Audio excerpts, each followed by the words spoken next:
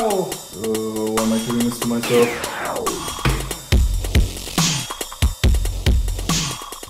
Hey everyone, it's Mason with Barbell Black Belt, and today we are going to be discussing and demonstrating a few hand techniques that I've learned over the years.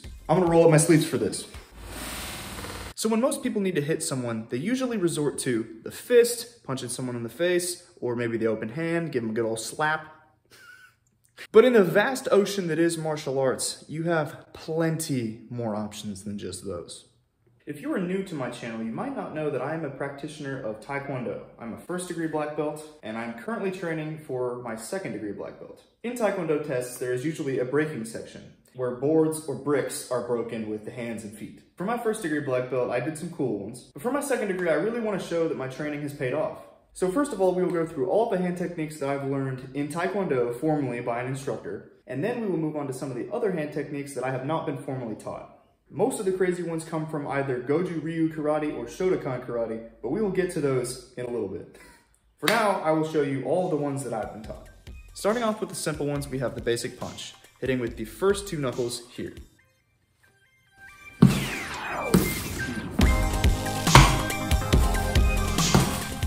Then we have the palm heel strike, which is taking the open hand like this, curling the fingers in, bringing in the thumb, and then hitting with the meaty part of the palm here.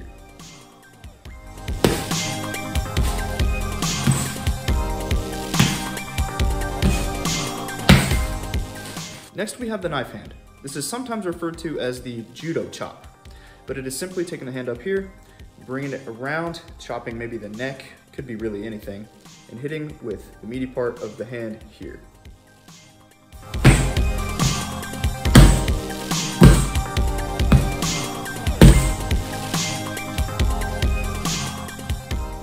On the opposite side of the knife hand, we have the ridge hand, which is instead of taking the hand this way, you flip it around this way, hitting with this section of the hand here as well as a little bit of the thumb.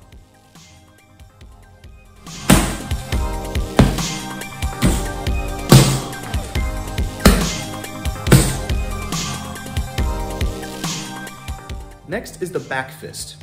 Now this can either be done hitting with the flat part of the fist here, or you can tilt the hand so that the knuckles connect first. So here or here. Really just depends on the style and what target you're going for.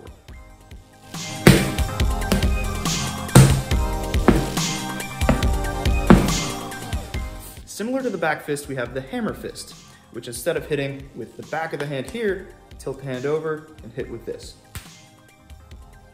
The hammer fist can come from a downward motion or from the side.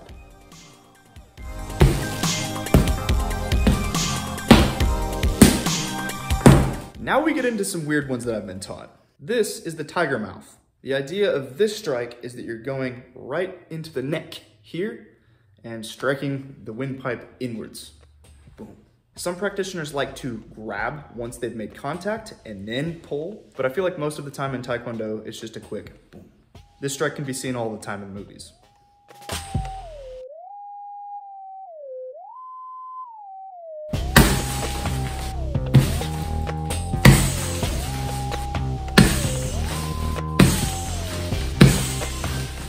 After the tiger mouth, we have the tiger claw, which is coming forwards into the face like this, and just kind of taking the fingers and raking them down across the face.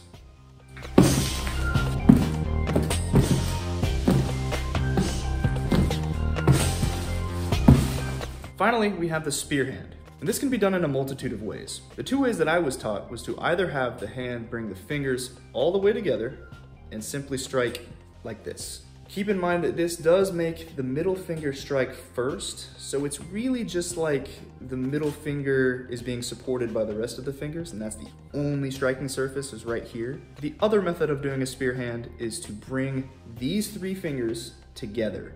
What I mean by that is bending them here so that the striking surface is on the same line. I don't like this because I feel like this usually bends when I make contact, but granted I have not practiced this strike enough against an actual surface in order to give any kind of say. That's gonna change today. but it's really up to the practitioner's interpretation.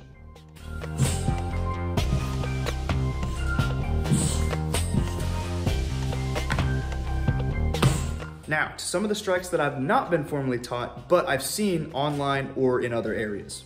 First off, we have the fist again, but instead of striking with these two knuckles, you strike with these two or these three. This is more of a Wing Chun technique, punching upwards with a vertical fist.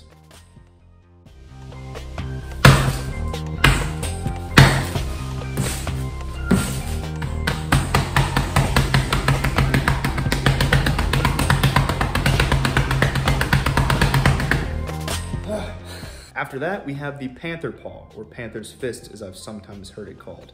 That is simply taking the hand like this, curling the fingers in similar to how I did with my palm heel strike, but this time striking with the front knuckles here.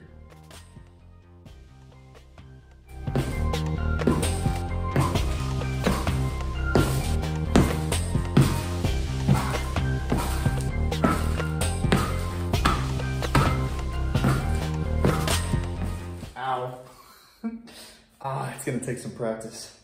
The next couple of strikes I don't really have names for, so I'm just gonna describe them as they are shown. This one I remember distinctly learning in middle school, of all places. Just where you take a normal fist and extend the middle finger knuckle. I think in karate, this is reinforced with the thumb here, but I've also seen it just normal like this. I'm not quite sure, so let's try it out. oh, why am I doing this to myself?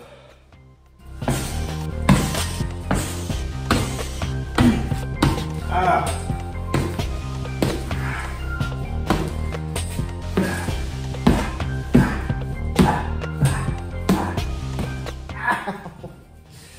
Ah! Oh, I got my index finger on that one. I feel like Sikorsky from Baki. Next is the same principle as the middle finger strike. We have the first knuckle strike. This is gonna hurt. Worse.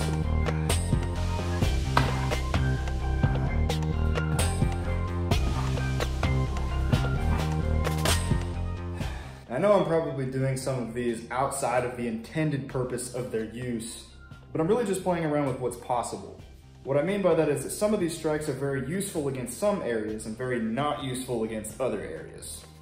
This is probably an example of an area where this is useful, whereas this is not as much. I need more practice. Okay, this is a weird one. Similar to a palm heel, striking here, except you take the thumb knuckle as the first striking surface.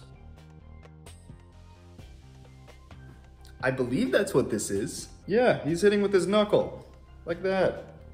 Ow. I'm gonna try it. All right, let's try this one. Oh.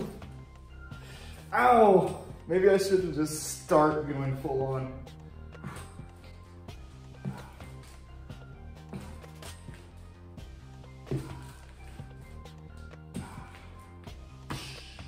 Oh, yeah. This one will take some getting used to. Okay, now we have one that makes a little bit more sense. Striking with the back of the wrist. I've seen people kind of flow this this way, almost like, it's like a jellyfish. These little thing is, jellyfish. From now on, this is known as the jellyfish strike. I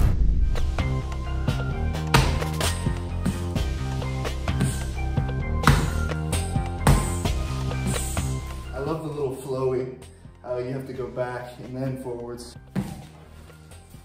I feel like a kung fu practitioner. Oh. Okay, this, this one I love because I was always taught never to do this because if you miss, you're gonna break your fingers. But if you train your fingers, maybe you won't break them. I don't know. But it's the Three Stooges strike. Taking the two fingers right into the eye sockets. This one can be seen on Baki, and I'm sure a lot of other anime.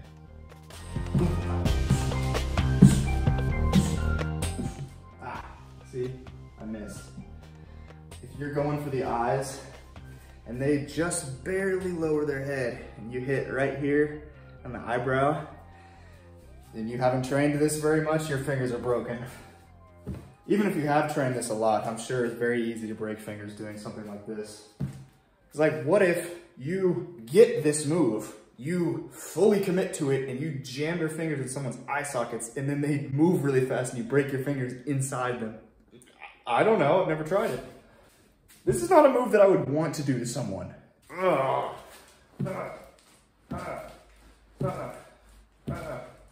Hey, Curly. Another one that I've seen that doesn't make any sense to me at all is similar to the Three Stooges strike, the one finger strike. I feel like it would take an insane amount of training to get your one finger to be able to pierce something. Maybe an eyeball if you're very precise. I don't know. Let's try it.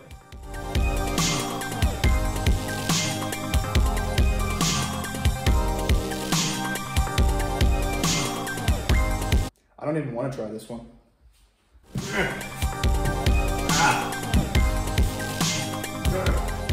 Ah. Yeah, that's that's hard. That's difficult. The last one I can think of, I'm gonna call the beak strike, because that's what it makes me think of. It's where you take all your fingers together and pinch one tiny spot, and that is the spot that you strike with. I don't know if there's a specific order in which your fingers should go, if your thumb needs to go in a specific spot. Maybe there, that feels good. Calling it the beak strike because these look like birds. Anyway, let's try it. All right, last one.